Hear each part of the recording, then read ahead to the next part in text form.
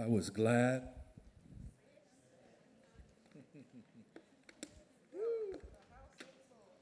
when they said unto me, Let's go up to Charis Church on Wednesday night because God's about to show up and show out and show off and reveal his power in this place. Amen. One of the words, we had a prophetic conference. How many had a chance to come to some of the prophetic conference? We had a time, and one of the words that the prophet spoke over this house, this is going to be a house where we're going to see signs and wonders and miracles take place on the regular. Whenever we gather together, and we're gathered together in this time, so we're believing that God's going to do an amazing thing tonight. Can somebody say tonight? And I'll tell you, I'm, I'm one standing here because of the word of the Lord and because of the healing power of God. When I was born, I was born with a disease where my lungs were premature, and I was on life support right out of the womb. And I was on life support for 11 days. And the doctors told my family to turn off the machines, the, the life support, because I wasn't going to live. And then, the same time that the doctor called, my father, a prophet, called and said, Here's the word of the Lord. And the word of the Lord is, is your son's not going to die, but he's going to live to preach and prophesy the word of the Lord. And within 18 hours, he'll be breathing on his own. And that's the moment where you have a word from the doctor, and we appreciate doctors. I worked in the medical field for a long time. And but we also have a word from the Lord. And we regard the word of the Lord more than any other word. And that's the moment we have to say, whose report are we going to believe? We're going to believe the report of the Lord. And so you can see what happened. The Lord healed me.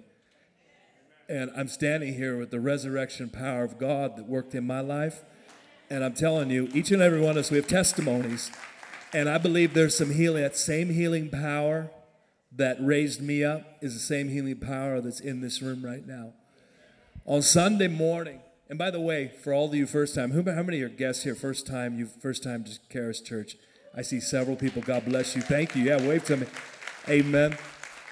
At the end of the service, I'm, I, I like to sit right here. And if I've never met you before, I'd love to say hello and have you come introduce yourself. Love to hang out and talk and touch. My name is Pastor Patrick, and uh, my wife, Pastor Marlena, she's over in the Children's Center, I think, tonight. And so we're just uh, so honored to be in this house and to be pastoring this church. And we just love it here because God is here and y'all are here. So it's a good combination. Amen. On Sunday morning, we were praying for people who came to make a commitment to Jesus. And there was, how many were up there? About 14, 15 people that came up. And as they were standing here, I heard the Lord say that it's time for me to teach on hedges creating a hedge. Somebody say a hedge. I'll explain what that is in a moment. Creating a hedge around your family, around your marriage, around your finances, around your mind. Creating a hedge. And so I got to work on Sunday night after having a two hour meeting. After the two hour meeting, I went home because I couldn't put it down.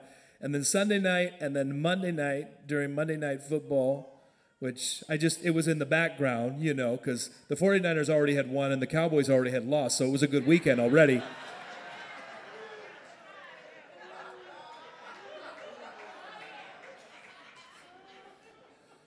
Mine eyes have seen the glory.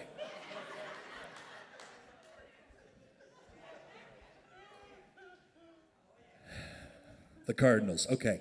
Um, the Cardinals with Kyler sitting on the bench, the Cardinals. Anyway, um, I'm teasing. But Monday night and then Tuesday night, I just kept get, getting these downloads, and so I started writing and writing. And the way I write, oftentimes, a study is it just all just kind of comes out. And 24 pages later, I was like, okay, there's something we got to speak about hedges in here. And then today I was able to pare it down to 11 pages. And if I get through two or three, I'll be happy tonight. And so I'm probably going to have to turn this into a um, seminar or a video that I send to you later um, or something because I think this is very important. But I want to read a key verse on hedges. Somebody say hedges. In Job chapter 1, Job is the oldest book in the Bible. The oldest, let me say it like this recorded book in the Bible. The story of Genesis, of course, predates Job, but the oldest written book is Job. And so we have the oldest chapter, Job chapter 1, and the oldest story that's ever recorded in the Bible. And the oldest story ever recorded in the Bible was actually a conversation between God and Satan. And so here's the conversation. Are you ready for it? Job chapter 1, verse 6 through 12. Now there was a day when the sons of God came to present themselves before the Lord, and Satan also came among them. and the Lord said to Satan, and by the way, when I spell Satan, I spell it lowercase s a t a n. He's not worth the capital. And the Lord said to Satan, Lucy, the father of lies, from where do you come? So, Satan, there you go, thank you. Answered the Lord and said, From going to and fro on the earth and from walking back and forth on it. Satan had nothing else to do. I'll leave that alone right now. And then verse 8 says, Then the Lord said to Satan, Have you considered my servant Job? Basically, before there was ever what about Bob, there was what about Job. Some people know about what I'm talking about, other people, you've been in the way too long to know that.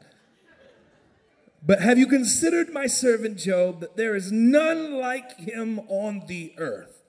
A blameless, can somebody say blameless? An upright man, one who fears God and shuns evil. Verse 9. So Satan answered the Lord and said, Does Job fear God for nothing? Satan always has these crazy questions. Goes right to the garden. And verse 10 says, Have you not made a hedge around him? Somebody say a hedge. Put a hedge around him, around his household, and around all that he has on every side. You have blessed the work of his hands, and his possessions have increased in the land. Verse 11. But now stretch out your hand and touch all that he has, and he will surely curse you to your face. And verse 12 says, And the Lord said to him, to Satan, Behold, all that he has is in your power, only do not lay a hand on his person. So Satan went out from the presence of the Lord. Satan was in the presence of the Lord. Satan could be in a church service. the name Job means persecuted one. The jo- name Job means repentant. The name Job means comeback. The name Job means the returning one. Somebody who has had a setback is now being set up for a comeback. Is there anyone knows what I'm talking about? Has anyone ever had some setbacks? Two people. Okay, good. I'm teaching here tonight, but I could slip over into preach. I'm just trying to behave here because we're moving into a healing anointing, but but but but there's something that's happening happening here. And so Satan, three things is number one, aware of God's hedge around Job. He's aware of it. He's also realizes that he's limited by God's hedge and he hates God's hedge. I can't touch this before hammer.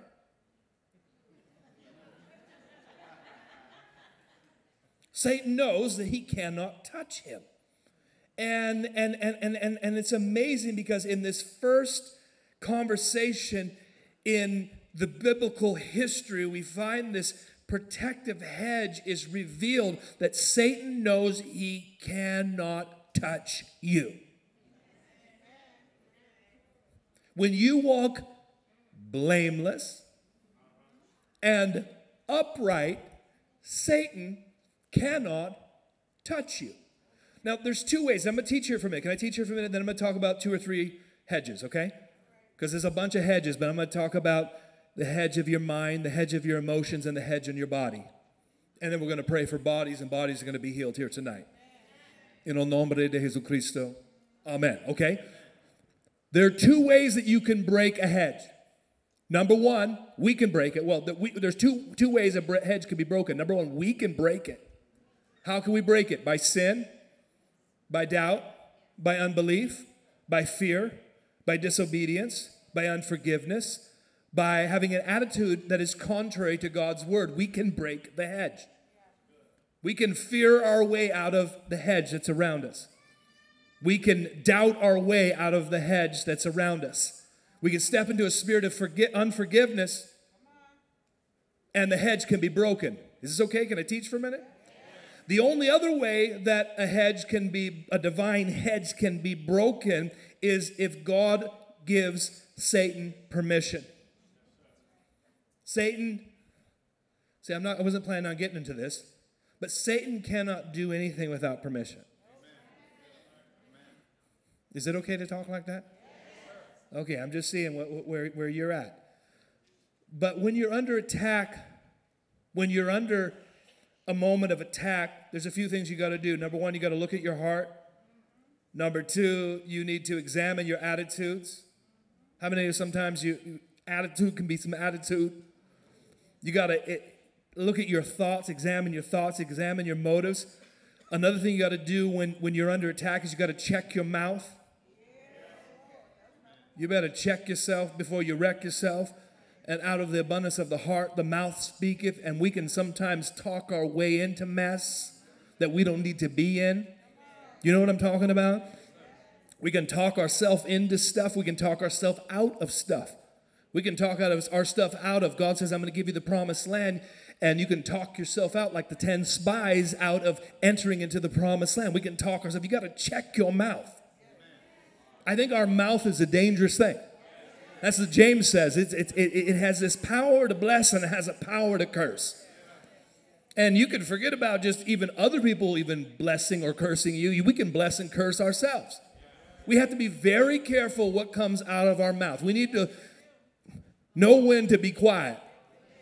Some things don't need to be said. Okay, I'll stop. I'll leave that one alone, but you know what I'm talking about. Better check yourself before you wreck yourself. And then you got to see if there's any sin because if there's any sin, then we got to just say, you know what, God, I'm going to confess it right now. And I'm going to repent. And I'm going to invite you afresh into my life. Sometimes, sometimes you might have to do that 10 times in a week. You just got to confess your sin Confess your faults one to another. Confess your faults and get clean and be like Psalms 139, where it says, Search me, O God, and know my heart and know my anxieties, and see if there be any wicked way in me, and lead me to the everlasting, the way everlasting. Search me, examine me, woo, clean me, cleanse me, wash me, make me new. Because guess what? We all, watch this have the potential for greatness, but at the same time, we have the capacity for catastrophe.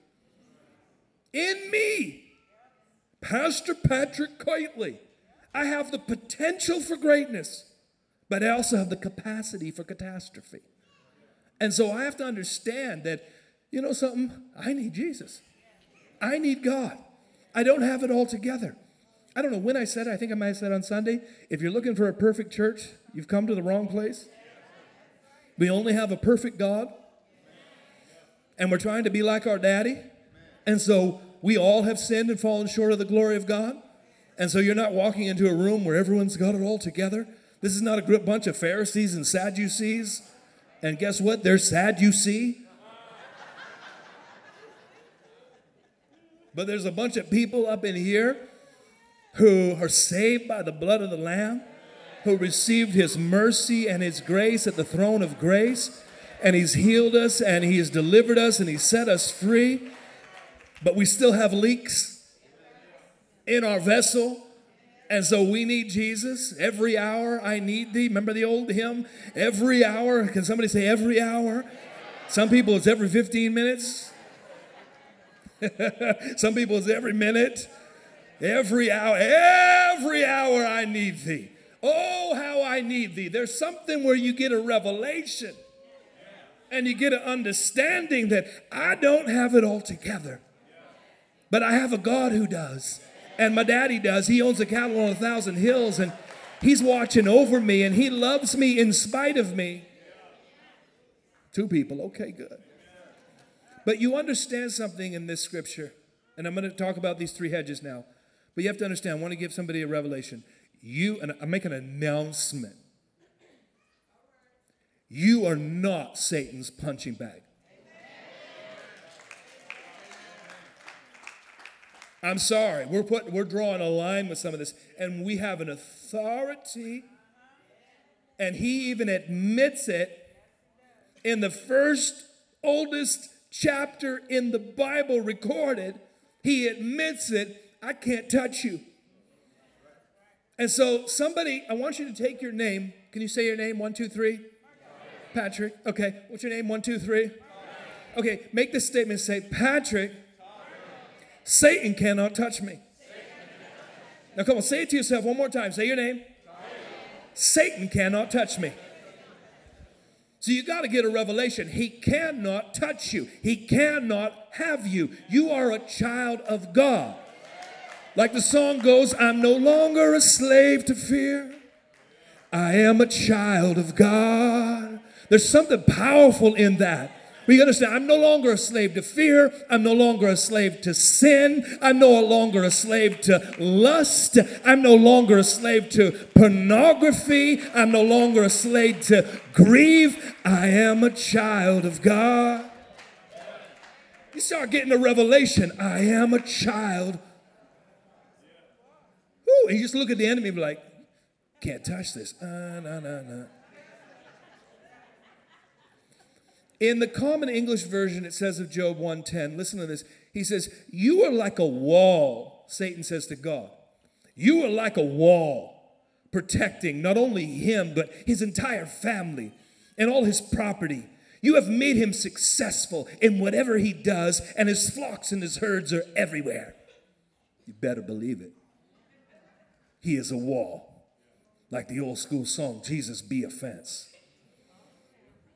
See, I got to skip all this. I got pages to skip.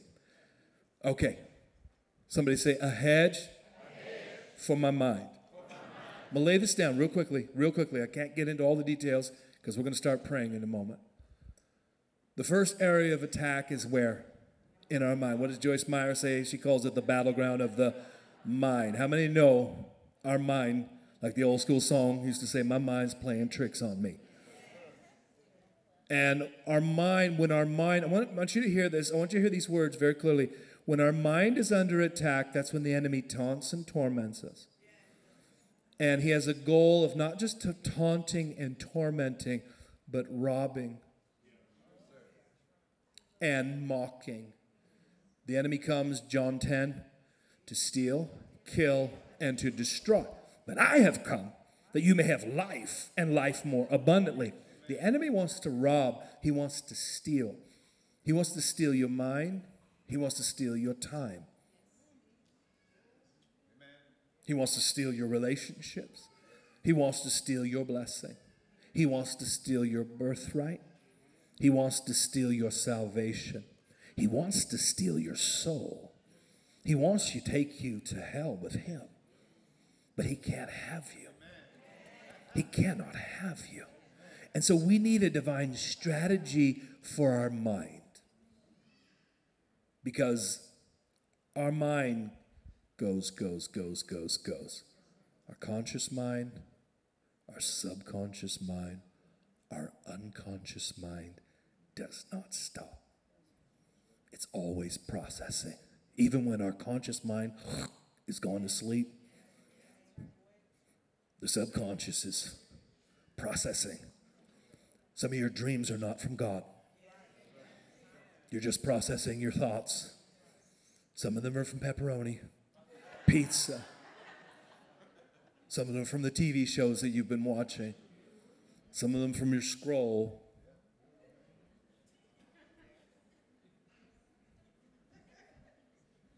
Stop scrolling.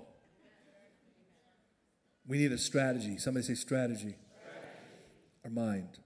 Second Corinthians 10, verse 4 says, For the weapons of our warfare are not carnal, but mighty in God for the pulling down of strongholds. Can somebody pull down a stronghold? A stronghold. What's a stronghold? A house made of thoughts. And so here's how a house made of thoughts, how it's made, a stronghold's made. You ready? It starts with random thoughts. The random thoughts, can I just break this down for you? And I can't get into this too deep, but I'm just going to just basics, okay? The random thoughts are the materials that are dropped off on your driveway to build the house. So the lumber is dropped, the sheetrock drops, the nails drop, you go on and on. All the materials are the thoughts. When we take those thoughts, the next part, when we take those thoughts, we start putting the materials together through concepts and ideas and imaginations. Have you ever had a thought turn into an imagination? Where you're imaging something that might not even exist, but nonetheless your thoughts took you there. And all of a sudden you're putting the house together and if you continue to allow those thoughts to turn into imaginations and concepts and pictures and ideas, then all of a sudden a stronghold has been built. A house has been built. And a house has been built so that something may occupy it. Are you catching what I'm saying? So if you have a stronghold, a house made of thoughts, something is going to occupy it. And if the materials that have made this house come from Fear Depot,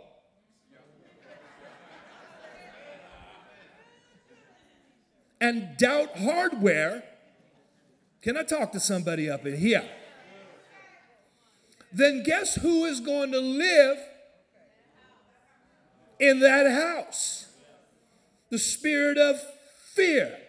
And the spirit of fear, see, I'm dealing with something because there's some things that have to actually be, if we're even going to see some miracles, there's some things have to be cast out.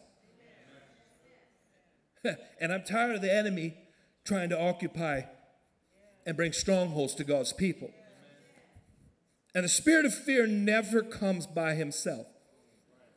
The enemy always has friends.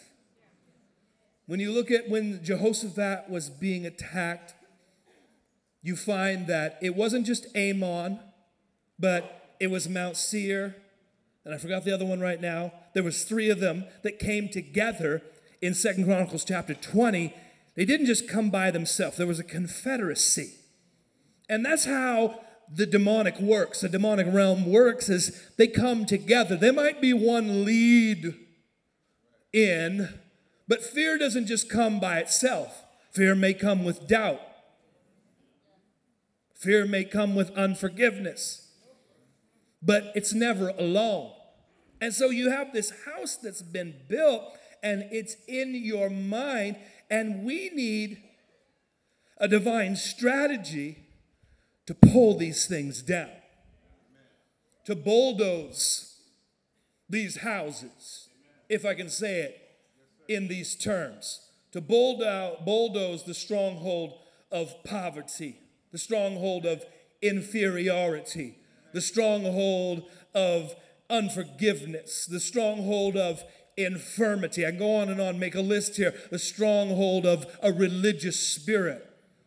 There's some people, it's amazing how some of the most unbelieving people on the planet actually have a religious spirit working in their life. There's different strongholds, and we have to bulldoze them down, and we need to have the Spirit of God come, and we need a hedge of protection put around our minds. And so, what God does is, He says, Guess what's going to happen? For every spirit that's tried to come up against you, I'm going to ask actually give you three for one. So, Timothy, God has not given you the spirit of fear, but He's given you a spirit of power and of love and of a sound mind. I'm going to give you power. I'm going to cause you to, to have power to overcome, dunamis power to overcome fear in your life. I'm going to give you a strength that is beyond yourself and I'm going to empower you, and you're going to be strong, and you're going to look at the spirit of fear, and you're going to say, Spirit of fear, you got to go. You're fired. Here's your pink slip. You cannot stay here. There's something inside of me. It's dunamis power, and you shall receive power. After that, the Holy Ghost has come upon you. When you get the Holy Ghost, you get power. But I'm not just giving you power, I'm giving you love. And perfect love casts out all fear. And I'm not just giving you power, and I'm giving you love, but I'm giving you a sound mind. What does a sound mind mean? It means a hedge, I'm going to put, woo, in this exchange here that's taking place, fear go, power come, love come, and guess what? A sound mind, a hedge around your battleground, your mind. And then you read scriptures like Romans chapter 12, verses 1 and 2, where he says, I beseech you, therefore, brethren, by the mercies of God, that you present your bodies, somebody say bodies, a living sacrifice, wholly acceptable to God, which is your reasonable service. And do not be conformed to this world, but be transformed, metamorphosis, by the renewing of your mind that you may prove what is that good and acceptable and perfect will of God. The good and acceptable, perfect will of God. Philippians 4, verse 8 Finally, brethren, whatever things are true, whatever things are noble, whatever things are just, whatever things are pure, whatever things are lovely, whatever things are of good report, if there be any virtue and if there is anything praiseworthy, think on these things? How am I going to put a hedge around my mind? I got to get the word inside of me.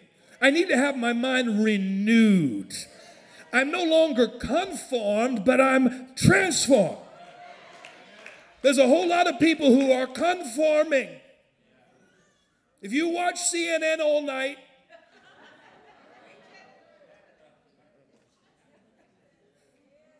and his evil twin Fox all night, every day, playing, waking up in the morning, going to bed at night. Guess what you're going to be doing? You're conforming to a system. There is a world system at work, and it's trying to get us programmed and conformed to its way of thinking so that we can live its way of life that it wants us to live.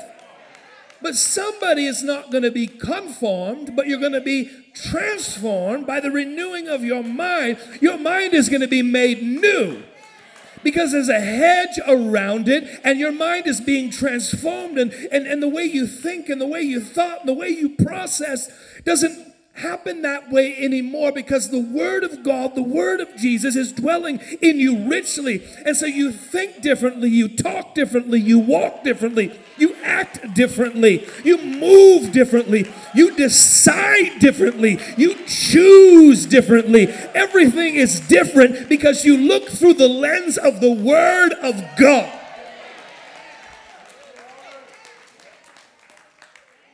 Because Hebrews 4:12 says, "For the word of God is living and powerful and sharper than any two-edged sword, piercing even to the division of soul and spirit." And the joints and marrow. Do you realize that the word of God's going into the joints and your marrow right now? It's surgical. It's going into your body right now, and it's quick and it's alive and it's powerful and it's sharper than a, than a surgeon's scalpel. And it's going in and it's working in you right now. The word of God's going into your body right now. It's going right down to the cellular level of your body right now. Trust me, I worked in the medical field. I know about cells because I worked with stem cells. And I did 400 seminars for doctors and nurses and patients and sports teams. And I understand all that stuff. And sometimes I would be in those seminars, I'm like looking at people and they'd have neuropathy and they'd have they'd have radiculopathy and they'd have sciatica and they they have spinal issues and hip issues. And, and I'm sitting there looking, I'm like, we have an answer for you in the medical field. But then I would sit back and I'm like, wait a second. You could spend $30,000 on getting these injections, or in less than 30 seconds, we could lay hands on you.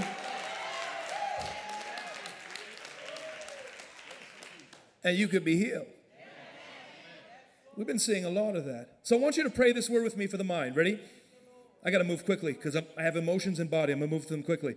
But, but just make this declaration say, The Word of God says that let this mind be in you that was also in Christ. The Word of God says that I have the mind of Christ. And so I come against any random, ungodly, unclean thoughts that are trying to run around in my mind. I pull them down I cast them out in the name of Jesus. Every stronghold come down, down, down. In the name of Jesus, I pray. Amen. See, sometimes you got to get an attitude with the enemy of your soul and say, Enough is enough. I'm not playing with you no longer. You see, the enemy's not playing, he wants to kill you. I got an announcement. He wants to destroy your family. He wants to destroy your children. He wants to destroy your marriage. He wants to destroy your body. And so there's something inside of me, Pastor Patrick, I'll be nice on Sunday and tell you a funny story. I don't have any funny stories here tonight. I only have one story. The enemy's coming down. Strongholds are coming down. Sickness is coming down in the name of Jesus. Let the church say. Some of these people are like, where'd they get this white boy from? I am from the hood, born in East Oakland. Somebody say, hedge for my mind. I'm going to go quickly on these next two because we're going to pray for healing. There's a healing anointing moving in this room very quickly. I feel it. So move quickly. I'm just going to skim here because I have so many hedges you wouldn't believe it. So I'm going to have to make a video or something.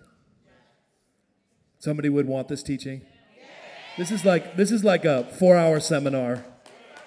And so I'm just trying to skim here. So I skim through that. Hedge for my emotions. Somebody said hedge for my emotions. So the saying goes, don't let your emotions get the How many have ever had the emotions get the best of you on the regular? On the real. Our emotions. You just watch the Dallas Cowboys lose to the Cardinals. and your emotions get the best of you. And Pastor Patrick gets up and says, Well, the 49ers won. The emotions get the best of you. But emotions affect everything, they affect your health. You can emote yourself into sickness. Your emotions can affect your mind. Your emotions can affect your decisions. Your emotions can affect your actions. And so we need to line up our emotions. We need to make an announcement to our emotions. Emotions are a part of our soul. What is our soul made up of? Our mind, will, and emotions. Our thoughts, our decisions, and our feelings. It's our soul. And so at a certain point, when you talk about spiritual alignment, your spirit aligns with the Holy Spirit. And so then your soul, which includes your emotions, must align up with your spirit that is aligned up with the Holy Spirit. And then you make an announcement to your body. Body, you're going to have to line up with my mind, will, and emotions, who is lined up with my spirit where my spirit is lined up with the Holy Spirit. And so you have to understand that there is like this spiritual protocol. There's this spiritual alignment God's spirit, my spirit, my soul, my body. And each level down, you have to make an announcement to your tripart self. And let your tripart self know listen, you got to come under the headship of the Holy Spirit of God. So one may wrestle, let me move quickly here, with anxiety, maybe a fear of sickness, maybe a fear, maybe a fear of flying, maybe a fear of accidents, maybe a fear of financial, your finances caving in. There's two kinds, I want you to catch this here. There are two kinds of emotions that, can I say this nicely, but I'm going to say it straight, that call in the demonic into your life. One is fear, the other is hatred. And hatred can manifest itself in two ways one as unforgiveness, the other as bitterness. And unforgiveness masks itself sometimes under the guise of hurt, and church hurt, and people hurt. But really, the hurt is an excuse for unforgiveness. And unforgiveness has a twin called bitterness. And the two of them, when you put them together, are really, when you really get down to the lingo, is hatred. And there's nothing that calls the demonic into your life more than fear and hatred. Why? Why? because fear and hatred are the two spirits that compose the atmosphere of the demonic. And so, why in the world are two of the greatest spirits that are operating in the earth are fear and hatred? CNN and Fox News. Fear and hatred. Ooh, gosh, he's getting into it. Yes, he is, because I've had enough of it. Because that's the prevalent spirit. There's other things, there's perversion. I mean, we go on and on. There's other things, but the two things that call in the easiest, the demonic realm into your life is fear and hatred.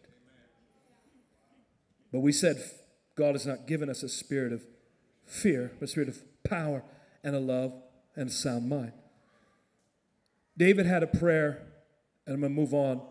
But David had a prayer, and we're going to pray a prayer of our emotions. In Psalm 69, verse 13 through 16, he said, But I pray to you, Lord, in the time of your favor, in your great love, O God, answer me with your sure salvation. And here he goes Rescue me from the mire He's talking about something that's deep inside of his soul. He's not in the, he's not in the mud, it's in his soul, it's in his emotions. Rescue me from the mire. Do not let me sink. Has anyone ever sunk in your emotions? Emotions are like quicksand. It sucks you up, sucks you up, sucks you up, and wants to kill you. He says, Deliver me from those who hate me, from the deep waters emotions. Do not let the flood waters engulf me, or the depths swallow me up, or the pit close its mouth over me. Answer me, Lord, out of the goodness of your love, in your great mercy, turn to me. It's powerful because he's just basically saying, I need my emotions, you in my emotions. And one of the hedges that we need is in our emotions. And sometimes the guys look and say, well, the ladies are all emotional. No, no, dude. You're just as emotional, if not more. You got feelings, you just stuff them. The ladies, they, and we're just like, but the ladies, they, they got a secret. They know how to release their soul and release their emotions, and dudes be like trying to be tough and all stuff like that. But you're just as human as she is, and you have just as many feelings as she does and sometimes it's okay to come to the presence of the Lord and come into the atmosphere and release your soul. And here is David modeling this for us, and he's like releasing his soul. Save me from the depths, pull me out of the mire. I got feelings inside of me, and I can't keep stuffing them. Because if I stuff them, I'm going to move into a place of self soothing. Can I speak to the men? We self soothe. How do we self smooth? Pornography. How do we self smooth? Come on, somebody. There's children in here. I'll be nice. Stuff.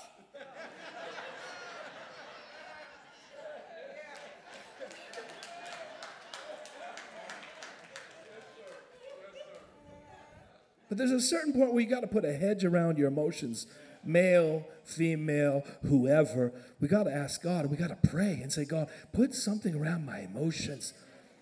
Because I'm moved, everything's moved in my life by emotions. So somebody say, Lord, Lord tonight I pray, tonight I pray that you help me, help me build a hedge around my emotions. I'm not going to faint, but I'm going to wait on you. I'm not going to be tentative. I'm not going to be anxious. I'm not going to be discouraged. I'm not going to walk in depression. I'm not going to walk in confusion. I'm not going to be fearful, but I'm going to be strong and of good courage. Last one, last one, I'm going to pray. Hedge for my mind, hedge for my emotions, hedge for my body.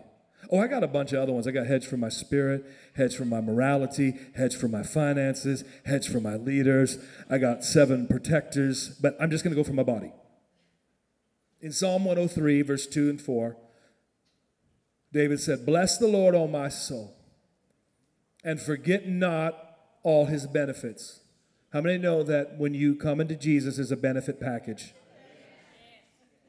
And is better than any 401ks, and any Baylor Scott and Whites, and VA affairs.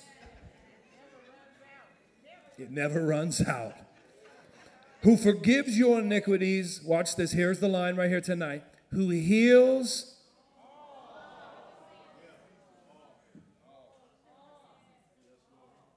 See, there's healing in this room happening right now before any hand is laid on, before any oil is put on you, there's healing in this room. He heals all. Isn't that beautiful?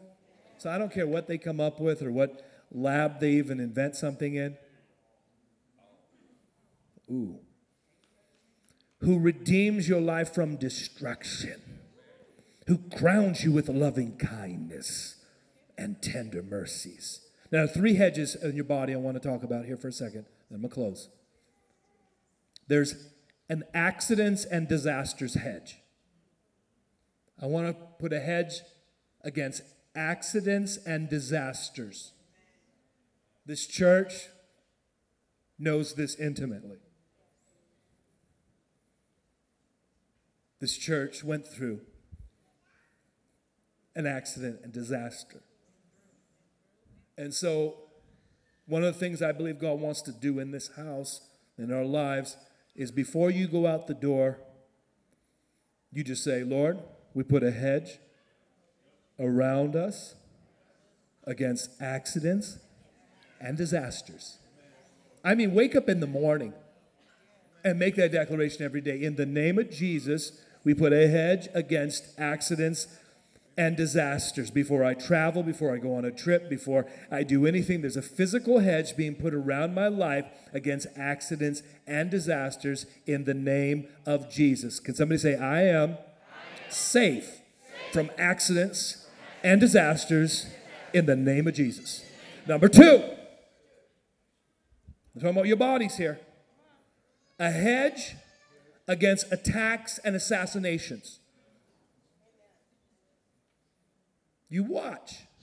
In this hour of evil, and I'm not trying to speak doom and gloom, but there are going to be interesting moments in the earth, in governmental arenas and different ones, where attacks and assassinations are going to increase. And it's just a sign of the times. And so, Psalm 142, in verse 3 through 5, David said, When I'm overwhelmed, you, will, you alone know the way I should turn. Wherever I go, my enemies have set traps for me. I look for someone to come and help me, but no one gives me a passing thought. No one will help me. No one cares a bit what happens to me. Then I pray to you, O Lord, and I say, You are my place of refuge. You are all I really want in life. Psalm 25, verse 15 I always look to you because you rescue me from every trap. Psalms 91 is the soldier's song.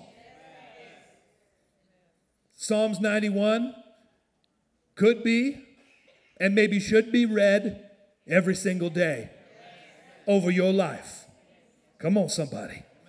Who he that dwells in the secret place of the Most High shall abide under the shadow of the my Almighty. I will say of the Lord, He is my, my refuge and my fortress, my God in whom I will trust. You read Psalm 91. There's a story of a missionary. You know him, Pastor Nick's name's Dennis Balcombe.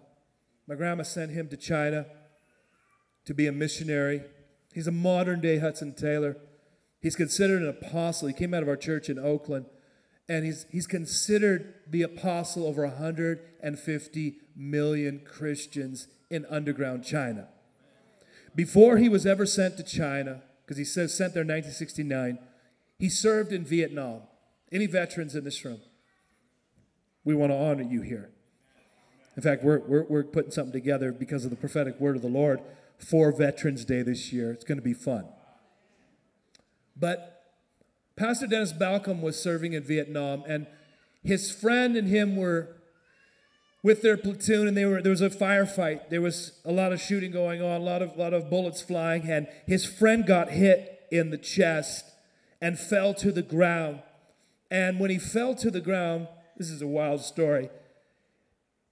He was looking to see where he was hit because he knew he was hit, and he was trying to find where the blood was. And what had happened was was before he went out into the battle, he stuck a Bible in his chest pocket. And this is a true story. And the bullet went into the Bible and stopped at Psalm 91. It went and stopped at Psalm 91. I'll tell you, there's something that God wants to put over your life of protection against attacks and assassinations. Stuff has happened when it was Fort Hood. There were things that happened. Stuff happened in El Paso. They happened in different parts of this country. We've seen attacks and assassinations, but there's something about waking up in the morning and saying, God, I'm going to be safe from attacks and assassinations. Is it okay to put hedges like this? There's hedges being put around you. And the last one, and this is leading me in here now, and I went longer than I was supposed to, so I apologize. But I think this is good stuff. So, accidents and disasters hedge, attacks and assassinations hedge, and the last one, infirmity and disease hedge. Woo! So when you're sick, what do they say? Take it to Jesus. Submit it to God. And then when you're sick, begin to speak the truth of God's word. God sent his word, he healed me of all of my diseases. The same spirit that raised Christ from the dead is here right now to quicken, resurrect my mortal body in Jesus' name. That same spirit is in me. Healing is the children's bread. It's my bread. That's what I partake of. And guess what? The only other thing I'm going to do as I declare God's word is I'm going to resist the devil and he's going to flee from me. And tonight, I want to get an attitude because I've had an attitude all night long with infirmity and disease because God wants to put some fight in somebody tonight. And you gotta you gotta stand up, stand up with me as we as, as we move into this moment here. Stand up with me, get your get your bony prophetic finger out.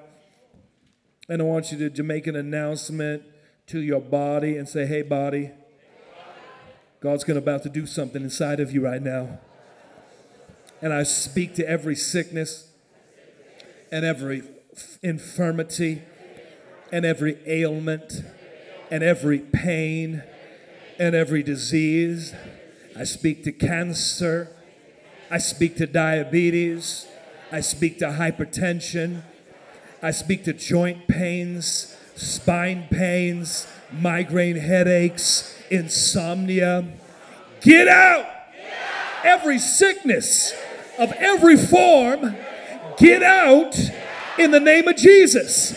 I claim tonight a health hedge around my body, around my family, in the name of Jesus. Sickness, you gotta go. You will not dwell in my home, in my body, in my family, and in my church. Get out of my house. God is protecting me now, and He's putting a hedge around my body. In the name of Jesus, I pray. And somebody said, Amen. Be seated, be seated, be seated.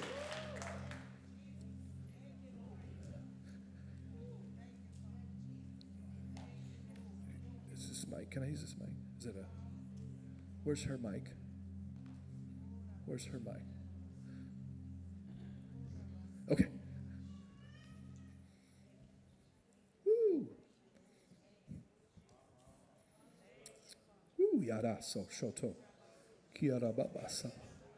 God's going to move very quickly here tonight. If you need a touch in your body, I want you to stand right now. God's going to move very quickly in this room. We've had many, many, many miracles. Uh, we've only been here for about 100 days since we became pastors here, just about 100 days. And in the time frame that we've been here, we've seen many, many different types of miracles. We've seen cancer leave.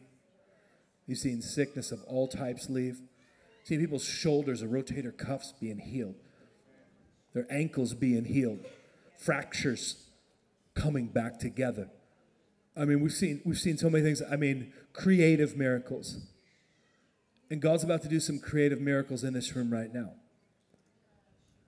And so, fear of death is leaving you now in Jesus' name. Fear of death is leaving you now. Let me tell you something about death. Can I tell you something about death? My, my wife, Pastor Marlena, she's over with the kids. Her grandmother died two Tuesdays ago, the week of the prophetic conference. On Tuesday, she passed. And her mother went into the hospital room and called her back.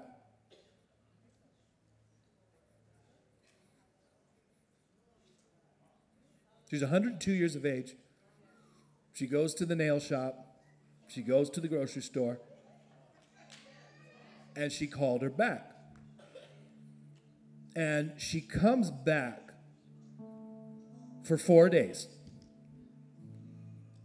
And all the family starts flying to San Diego to go say goodbye because She's not even sick, she's just going. And she begins, I wish I could just play it for you. Maybe next time we do the healing service, I'm gonna play this this this recording. Have you heard it? have you heard it yet? You've heard it. I'm, you all, I'm, gonna, I'm gonna tell you, you have to hear this. I wish I had it with me right now. About six minutes long. She begins to tell us what happened when she died.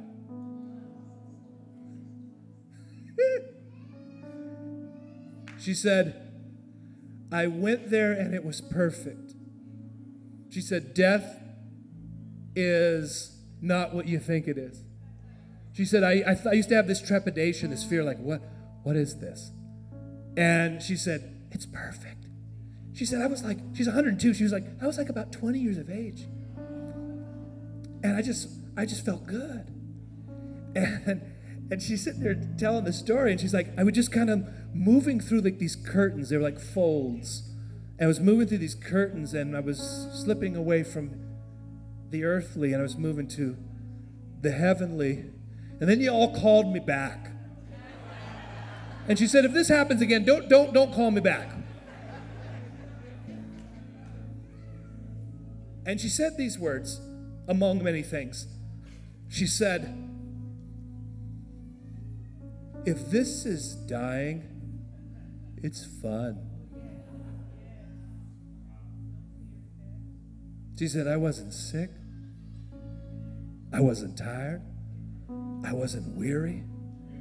And I just looked at my old body and my bones, and it looked like just a, a bunch of gym clothes just lying there. And I had to come back into that. Because if this is, she kept saying it, if this is dying, this is fun. I get to be with Jesus. I could sense the presence of Jesus. And so, one of the things God wants to do is take away the spirit of fear and the fear of death. Huh. I'll start with that. Now we move into healing.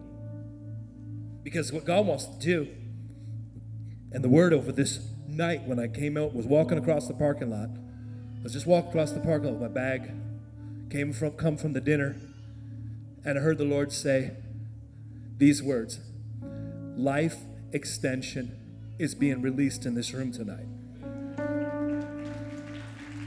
Whatever the doctors have said, that's fine. There's some people in this room, maybe the doctors have given you a year to live or six months to live. or maybe the enemy's trying to speak a sentence over you. God's breaking it tonight in Jesus' name.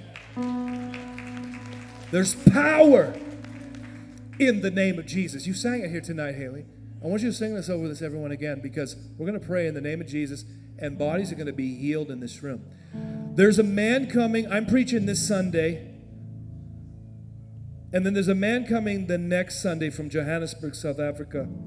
He's a gentleman I went to Bible college with. He gave a prophecy over this house.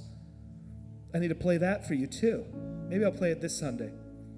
Okay, Pastor Jackie said, I need to play that. Because one of the things he said was that people's lives are going to be extended in this house. And that there's going to be a whole bunch of people. How did he say it? He said, like,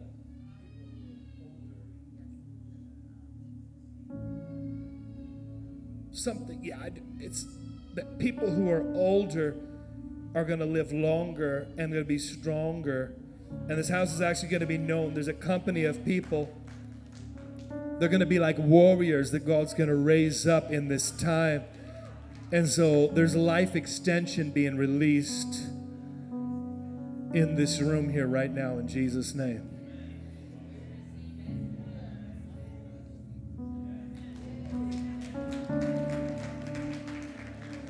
And so if you are standing here, I'm going to pray a general prayer and then we're going to start calling people up. But if you need to touch your body, you stand here, just lift up your hands to heaven. Jesus is in this room. And I want, Pastor Haley, I want you to sing over the power in the name of Jesus, and we're going to pray in his name. And it's like Peter and John in Acts chapter 3, where they looked at the lame man and they said, Silver and gold have I none. I don't have stuff to give you that's natural. But such as I have, I give to you. What I have for you is supernatural.